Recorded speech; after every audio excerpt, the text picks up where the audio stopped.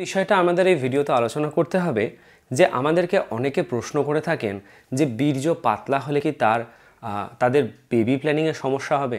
বীর্য ঘন করতে হলে কি করা উচিত?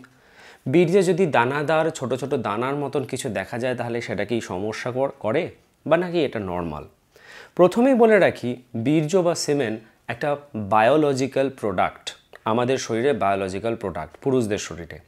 অর্থাৎ একজন মানুষ বা একজন পুরুষ তার শরীরের বায়োলজিক্যাল বা জৈবনিক একটি প্রোডাক্ট বা ফল হচ্ছে বীর্য। অর্থাৎ তার শরীর থেকে নিঃসরণ হচ্ছে। একটা বিশেষভাবে, বিশেষ প্রসেসের মাধ্যমে নিঃসরণ হচ্ছে। যেহেতু মানুষ ভিন্নভাবে তাদের গঠন আলাদা হয়ে যায়। অর্থাৎ প্রত্যেকটা মানুষের শরীরে হৃৎপিণ্ড লাংস লিভার কিডনি সব কিছু একই রকম হলেও গঠন এক একজনের এক এক রকম হয়ে যায়। সেই জন্য স্বাভাবিকভাবেই তার প্রোডাক্ট বা তার শরীরজাত যে সমস্ত রস বা যা কিছু বেরোচ্ছে, সেটা আলাদা হতেই পারে। বীর্য বা সিমেনের মধ্যে প্রধানত শুক্রাণু, যেগুলো খুব ছোট ছোট সেল বা কোষ হয়, সেই শুক্রাণু থাকে এবং সেমিনাল ফ্লুইড থাকে, যেটা আপনি খালি চোখে দেখতে পারবেন না।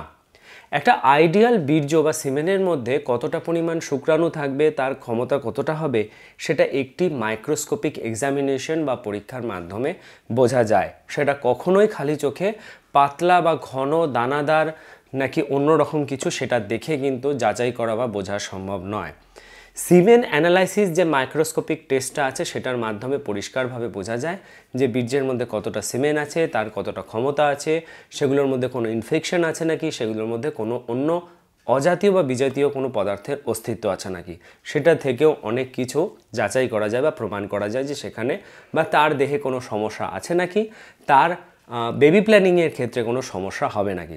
সুতরাং আপনি যেখানে ফিজিক্যাল বা যেখানে অস্তিত্ব দেখে খালি চোখে প্রমাণ করার চেষ্টা করছেন বা বোঝার চেষ্টা করছেন, সেই চেষ্টা কিন্তু বৃথা। ডেফিনেটলি আপনার বীর্যে কোনো সমস্যা আছে নাকি? সেটা সিমেন অ্যানালাইসিস টেস্টের মাধ্যমে বোঝা যাবে। সেই সম্পর্কে আমরা বিস্তারিত ধারণা নিয়েছি। আমরা একটি ভিডিওর মাধ্যমে সিমেন অ্যানালাইসিস কীভাবে হয়, সেখানে রিপোর্টে কি কি উঠে আসে, সেই রিপোর্ট অ্যানালাইসিস করেছি। স্পাম কাউন্ট সম্পর্কে আলাদা ভিডিও করেছি, স্পাম মর্টালিটি সম্পর্কে ভিডিও করেছি, স্পামের ইনফেকশন স্পাম কিলার সম্পর্কে আলোচনা করেছি, অর্থাৎ যে যে ব্যাপার বা যে যে অভ্যেসগুলো, যে যে বিষয়গুলো স্পাম বা শুক্রাণুকে নষ্ট করে দেয়, সেই নিয়ে আলাদা আলোচনা করেছি। এই প্রত্যেকটা ভিডিও লিঙ্ক ডেসক্রিপশন বক্সে আপনি পেয়ে যাবেন।